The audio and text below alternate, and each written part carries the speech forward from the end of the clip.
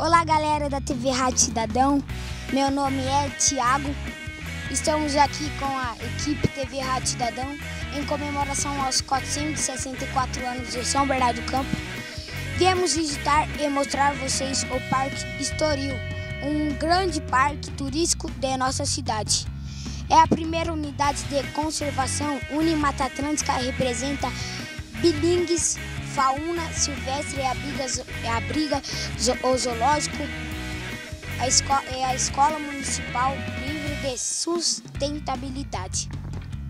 Conta com teleférico, pedalinho e caiaques, trilhas para caminhada, viveiro, escola, jardim sensorial, área do piquenique, área de banho, estacionamento, lanchonetes, museu de arte ao ar livre, e são frequentes as atividades de educação ambiental.